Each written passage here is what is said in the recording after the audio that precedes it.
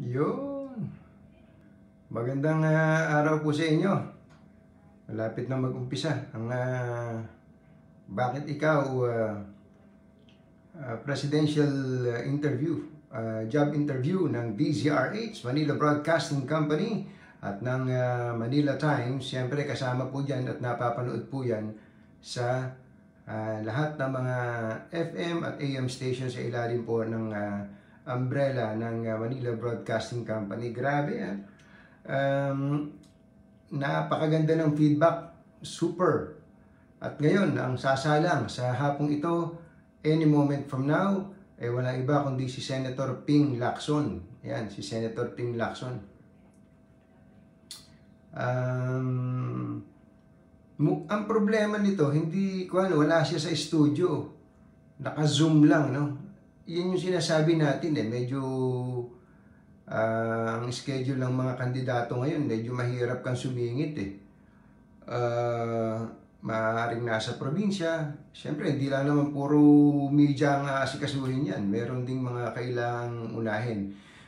Anyway, ako katakot-takot na sinabi ko sa inyo, eh, ako pala eh, hindi pa nagpapakilala. Ako po si Katunying, Anthony Taberna po lamang. Sana po ay okay na okay po kayo. At ah, wala pong nagkakasakit. Ayan, ah, nasa mabuti po kayong kalagayan. Saan po kayo naroroon. At sana po, pag nakita nyo na yung ah, labahan nyo dyan, mag-ahit na kayo. Ako hindi umakit yung pang-ahit ko. anyway, um, Ah, ang dami-daming mga update natin sa mga kandidato ngayon. Talagang babat bitawan ng mga politiko ngayon eh may kahulugan.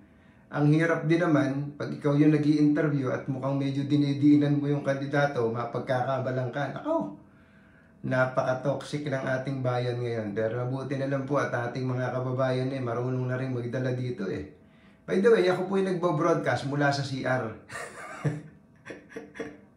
Kaya pag naputol po ito, ibig sabihin may gagamit ng CR. Maliwanag naman yung ano, maliwanag na may signal natin ano. Ang isa po sa pinakamalaking balita ngayon, itong ginawa ni Commissioner Rowena Guanzon kahapon ano, ng COMELEC. Eh, ihing-ihina yung ali, ang ginawa niya, inilabas na niya yung kanyang dissenting opinion. Ewan ko kung dissenting opinion yan, ha? pero maaaring dissenting opinion. Ang ginawa niya, sinabi niya, ang kanyang boto sa disqualification case laban kay BBM eh to disqualify BBM o Bongbong Marcos.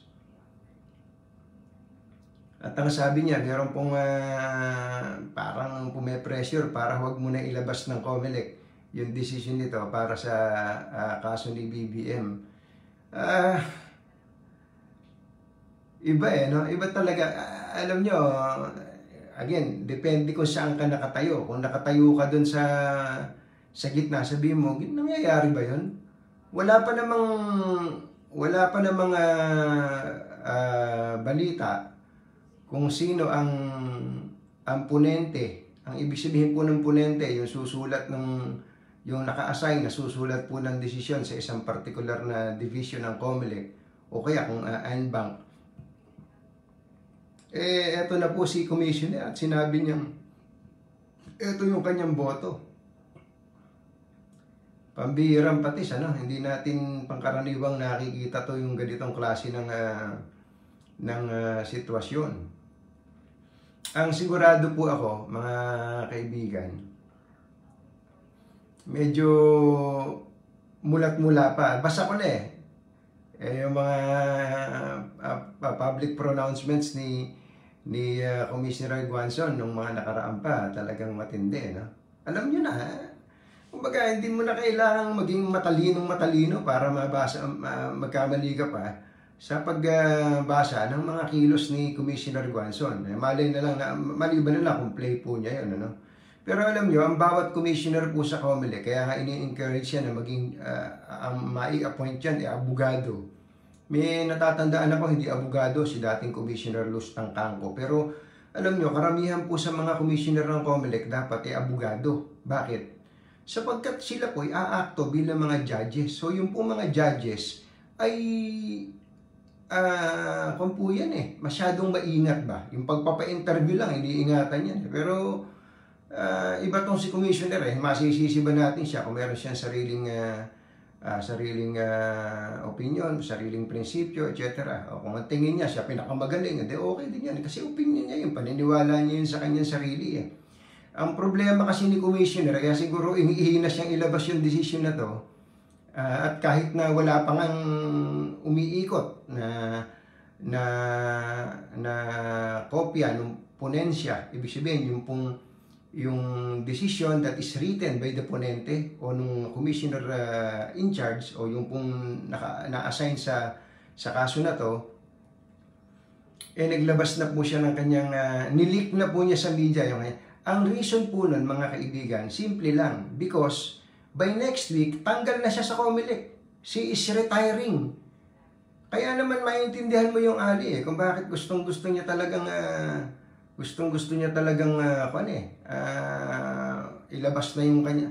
Sabi niya siguro magiging irrelevant na siya sa Comelec kapag ka uh, ilalabas ng Comelec ang decision by the time na wala na siya sa Comelec. And besides, ang komplikasyon nun, pagka po nawala na si Commissioner Guanzon sa Comelec, magkakaroon ng rigudon dyan. Magkakapalitan ng mga tao dyan. Uh, baka mag, mag, mapalitan kung sinong uh, ilalagay dun sa first division. So, talagang talagang uh, ano eh, talagang uh, may konting uh, komplikasyon po 'yon.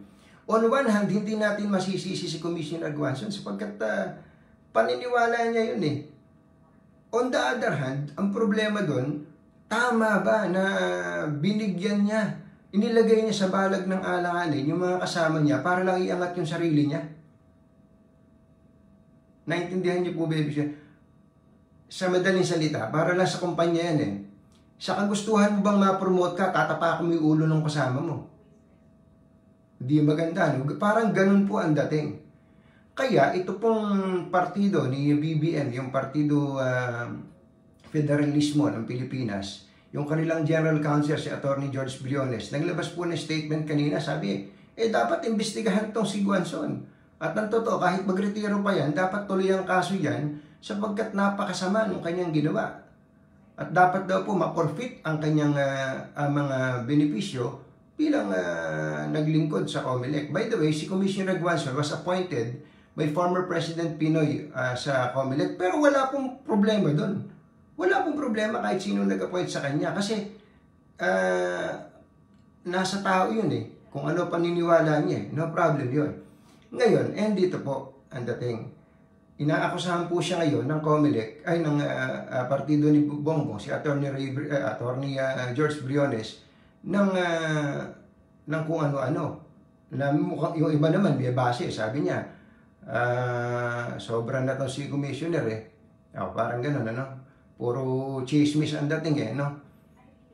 Eh, kaya sabi niya, that's uh, parang conduct and becoming uh, ng isang uh, judge na dapat ay uh, uh, hindi nagsasalita sa kaso. Eh, yun, yun yung mga, kwan eh, yung mga litigants ka, eh, bawal magsalita sa kaso, eh, di ba? Mina, sinasubjudice, nakukontempt pa dyan. Hindi po ba? Kaya, kumbaga, may base din kahit pa paano yung sinasabi ni, ni Attorney George uh, uh, Briones. Eh ngayon, sumagot to si uh, Commissioner Guanzon, ipapakulong kita sa City Hall eh, sa City Jail eh, sabi niya. Iko-contempt kita, na, natawa lang ako ng konti doon eh magre-retiro ka na nga, makapagpapakontent ko pa ba? Anyway, that's besides the point. Nagyahamon po siya ngayon ng debate. Kay doon sa tumitira sa kanya, si uh, Attorney Briones. Debate daw on national TV. Eh, kinol nitong si Juan, kinol nitong uh, si Attorney Briones. Sa say, call, magdebate tayo on national television. Kasi pinag sinasabi ni Commissioner Guanzon, ako ang uh, professor ako ng batas, alam ko yung batas ko. But remember, not all professors know their law. Pero bahala siya doon. Kung yun ang paniniwala niya sa kanya, tingin niya pinakamagaling siya, bahala siya sa buhay niya. Ano? O, magdebate sila. Sige, magdebate kayo. Ayan. Uh, magdebate po kayo. Uh, Ayun, so parang uh, may debate na dito sa mga abogado, may debate pa sa mga presidential candidates. Ang ganda, no? February 4, may debate po uh, na sponsor ng KBP ang mga presidential candidates. At mamaya sa DCRH ay makinig po kayo at manood uh, sa presidential job interview na ang uh, mapapanood po natin dyan si Senator Ping Lacson. Ay, nako. Talaga naman oh. Pasensya na kayo sa audio ko ah. Audio ng CR to. Nasa CR ako eh. Kaya tatapusin ko na at meron nang nag-message sa akin, iihi na daw. oh, sino gusto niyo manalo sa, sa debate? Guanzon versus Briones. Babae versus lalaki. Uh, ayan, pareho silang butangera. Oh, bahala sila sa buhay nila. Approve!